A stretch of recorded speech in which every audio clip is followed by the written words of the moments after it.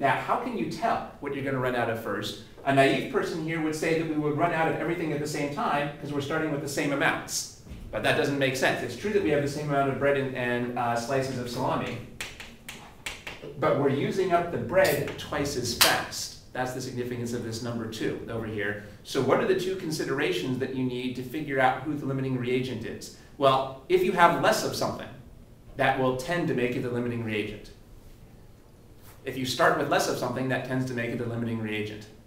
If you only got one egg in the refrigerator, there's a good chance you're going to run out of eggs before you run out of, run out of other things.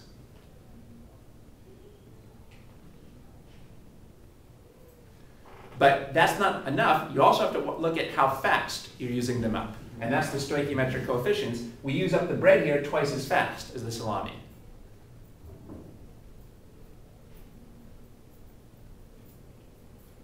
So if you only have one egg in the refrigerator, but you only eat an egg once a month, maybe you won't run out of that first. Ah, well, it will probably go bad in the meantime. But anyway. Um, so, uh, so those are the two considerations. So in many cases, you should be able to figure out the limiting reagent by common sense. We shouldn't have to do these conversion ratios here to see we're starting with the same amounts of both of these, but we're using up bread twice as fast. So the bread has to be the limiting reagent. And as soon as we figure that out, we know what's going to be the change in the bread? Minus 10. Because the limiting reagent is going to be used up when the reaction goes to completion. It's not obvious yet what the change in the salami is going to be. Well, it's kind of obvious, but not as obvious as this number over here. But what is the formal and official way to find the limiting reagent? Well, that's what we did over here. Ask yourself, what's the maximum amount of product I could make out of one starting material?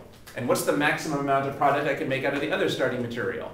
And whichever one makes less product is the one you're going to run out of first. We have enough bread here to make five sandwiches, but we only have enough salami to make ten. Uh, well, we have enough salami to make ten sandwiches, but only enough bread to make five sandwiches. So we can see from that that the bread is the limiting reagent. So I don't think that this was strictly necessary for the sandwich equation because this was such a common sense and ordinary equation, but this is the official mathematical way to figure out the limiting reagent. In many cases, this is the best way to do it because uh, it can be confusing. So again, we have to use our conversion ratios. You convert each um, starting material into product and ask how much product could you get from each of those if it were the limiting reagent.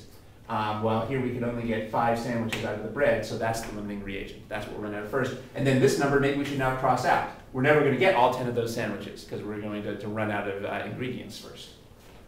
This was how much we could get if there was excess bread. That turns out not to be excess bread.